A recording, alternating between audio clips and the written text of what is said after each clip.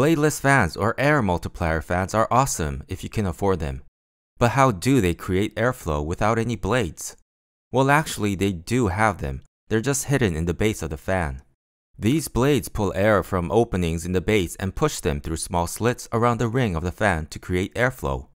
But that's not the end of the story, because the initial stream of air created by these blades are not enough to explain all of the airflow that blow on your face. Three mechanisms are used to multiply the initial airflow.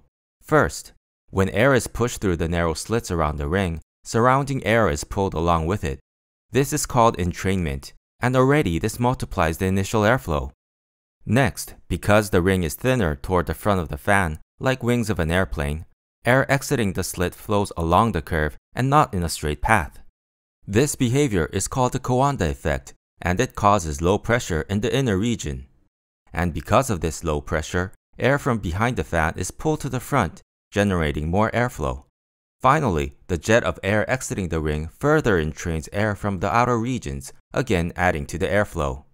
As a result of these mechanisms combined, initial airflow is multiplied approximately 15 times, keeping your hot face cool all throughout the summer. And that's how bladeless fans multiply airflow. Stick science. Thanks for watching. If this video was helpful, please hit the like button and subscribe for more stick science.